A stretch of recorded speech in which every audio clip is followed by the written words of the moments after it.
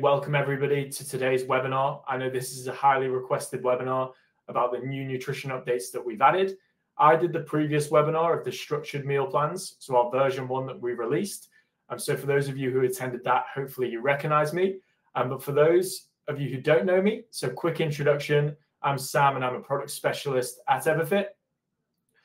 Uh, we do just a bit of background of how, how the webinar is going to go today. So I'm going to begin by introducing some of the features and also the use cases of how these features could be useful for your business or your um, your coaching. And then we're going to go onto the web platform where I'm going to walk through how to use these new features. And then I'm actually going to show you quickly how it can look on the client side. Um, so you don't have to go through and test it yourself on the client side. And then we'll finish off with a Q&A um, to complete it. So if you have your questions, uh, keep them together. We can definitely go through them at the end of this uh, presentation today. Amazing. So just to begin, um, this is how we are explaining the new nutrition updates in different use cases of the platform. Uh, so we have almost like a spectrum from structured meal plans all the way to you know, on-demand recipes that you can provide for your clients. With Everfit, we always think about how we can have a tiered approach and how you can build out that tiered approach. And that is what this setup is allowing you to do. So we have everything from you know high ticket offerings, the structured meal plans that we would have went through on the last webinar. This is where you can assign meal plans with very strict you know days that you want them to eat and recipes that you want them to eat.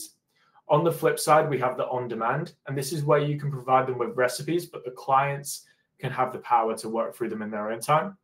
And then we also have a flexible option as well, which will be somewhere in the middle of that spectrum having these different options will allow you to provide a lot of value to clients.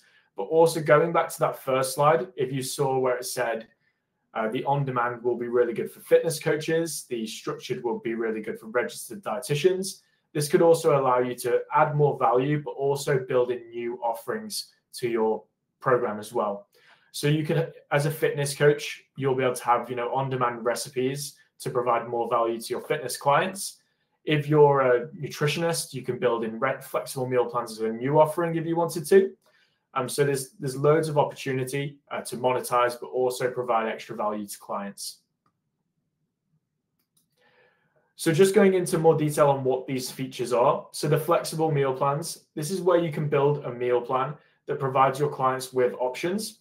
So you can add up to seven seven recipes for breakfast, lunch, dinner, snacks, that your clients will be able to choose from.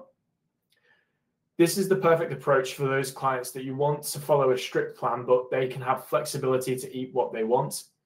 And so this will be a really nice option for them. The next option that we have is the on-demand recipe books. So this is more hands-off than the flexible meal plans and the structured meal plans. You would simply give them access to collections of recipes or recipe books and they can go in and they can complete those recipes. They can log them to their macros. They'll be able to build their own meal plans, build their own shopping lists. So, although it's really, really simple to build out on your end, and it'll take potentially 30 seconds to build out one of these recipe books, your clients will have a lot of features and a lot of um, different options to, to really use this feature and gain a lot of value Cool. Um, so the reason we had five different ways to coach nutrition is the fact that you can mix and match these different tools. So you can combine structured meal plans and recipe books together.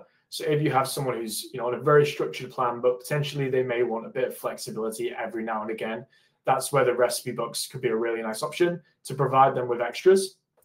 You can also combine flexible meal plans and recipe books together too, um, almost allowing your client to build their own plan, and but also having the guidance from the flexible meal plan too. This is a new update, so it's not necessarily related to meal plans, but we have built out some new options. Um, so you can now auto calculate the macro ingredients. Um, so basically, when you change, you know, an ingredient or you change the serving size, we will be able to automatically calculate that because the macros now have, sorry, the ingredients now have macros attached to them um, so we've worked with some of the biggest databases in in the world to create these and make sure that those um, macro the macro data is very accurate too. Amazing. So we're going to move over to the website. Perfect. So to begin, just where you find the recipes and meal plans is in the library. So this is where you'll find most of the features that you can build out. Uh, with the recipes, so I'm just going to quickly show you where to find those and how you could potentially build them really quickly. Um, so you should have seen this in the previous webinar or even testing out uh, the recipes really um, when we were releasing that version one. But what you can now do is, is go in, you can create your recipes, you can name them, add a photo, and it'll take you to this interface. And this is where you'll be able to add the ingredients, uh, add the instructions. You can add videos, preparation, cooking, and you can also add nutritional info as well to add any breakdowns uh, for your clients. The big difference that we've got now is the fact that you can auto calculate the, the uh, macros based on the ingredients. So when you're making changes, it just makes it really seamless um, to update those ma the macros of that meal. So with these recipes, uh, we have a database of recipes that you can use. Um, you can also add your own whenever you want. But with these recipes, you can now build on-demand recipe books. So there's two options when building a recipe book. There's an interactive book. This will be using Everfit's database, your own database of recipes that you've built within the Everfit system. We also have PDF books where if you wanted to add any PDFs that you potentially had in the resource collections or external, um, you can add them into this recipe book format as well. A quick example of one that I've built out, and it is really, really easy to add those recipes in, would be my salads collection here. So I've got a recipe book with loads of different types of salads, all using Everfit's um, different options of recipes built within our database. If you want to add a recipe, you can filter down based off the meal type. You can also filter down based off the calories and the dietary information as well. Perfect. So to assign those recipe books to a client, what you would have to do is go onto a client page. You'll see the meal plan page on the right hand side. You can then go onto the recipe books and choose which recipe books that a client will get access to. So you can do that in two clicks and just adding those recipe books in. So moving on to flexible meal plans and the meal plan option. Um, so I've built out a day of flexible of, of a flexible meal plan right here. So you can go ahead and you can add up to seven different recipes by clicking onto this button. You will also have those filters. So if you're aiming for a specific macro goal for dinner, you can filter down based off the macros there and the calories. The dietary information you can also filter here too. And you'll be able to simply choose the recipes that you want your clients to have access to that day. And as I mentioned before, you'll be able to add up to seven for breakfast, for lunch, for dinner, and for snacks as well. You'll be able to view the average calories of these meals. So you'll see this one, they're all around 350. Um, so the average will be calculated based off those. You'll also be able to see whether that's hitting your client's macros goals or not. Another feature that we have with the flexible meal plans is the ability to copy full weeks of recipes and paste that into another week as well. So I can go ahead, just paste that in, and then this Wednesday will then be moved to the week below.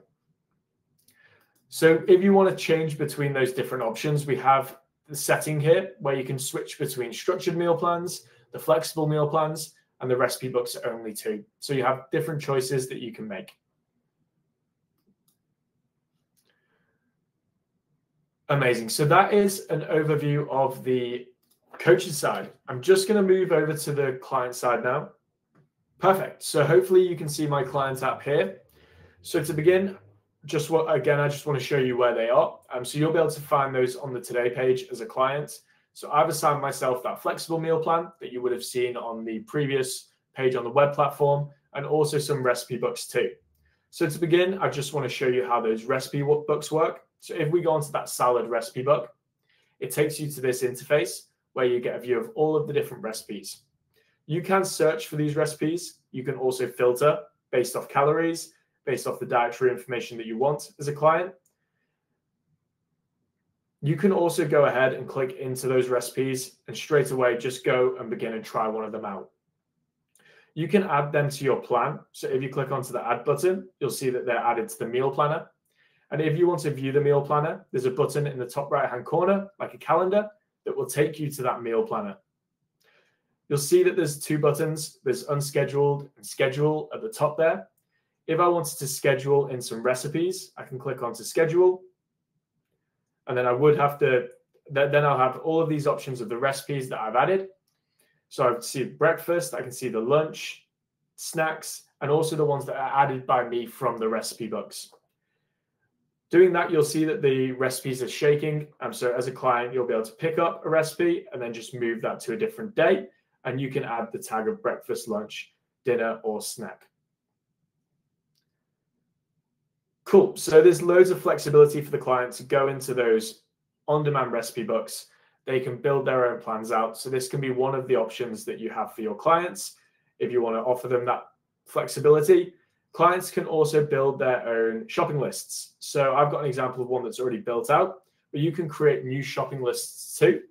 You do have to add recipes to be able to build this shopping list. So if I wanted to do that, I could go onto the four dots in the bottom right hand corner and I could add the current week to a shopping list, and then I can add that straight away. So let's add it to that 30th of October. If I go back to the shopping list now, you'll see it's got all of those items and you can do it by ingredients or you can do it by recipe too.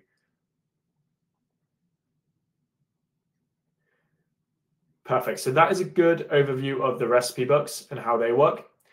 The meal plans, so I've got a flexible meal plan set up here. So I can click onto it. I have already built out my schedule. Um, so that's why I only have one of those options. If I wanted to edit it, I can go ahead, I can remove stuff. I can also go back to the schedule where you saw in the coach, where you'll see in the coaching page.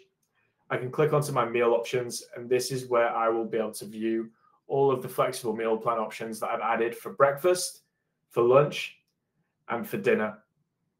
Very similar, you'll be able to build out your schedule uh, as a client by clicking onto that calendar in the top right, top cor- uh, the bottom right hand corner, and you can decide what you're eating and schedule that in for those specific days. Amazing. So that is a really good overview of the new meal plan feature. And then just before we go, um, so some of the new nutrition updates, we are adding more and more power to this feature. And like this, we've just released the version two, but there's still going to be some more stuff coming. Um, so we're actually building out the ability to import recipes by PDF, URL, or a block of text. Um, so using the URL, PDF, or block of text, we'll be able to generate the recipe in the Everfit format. So right now, recipe building might take a few minutes.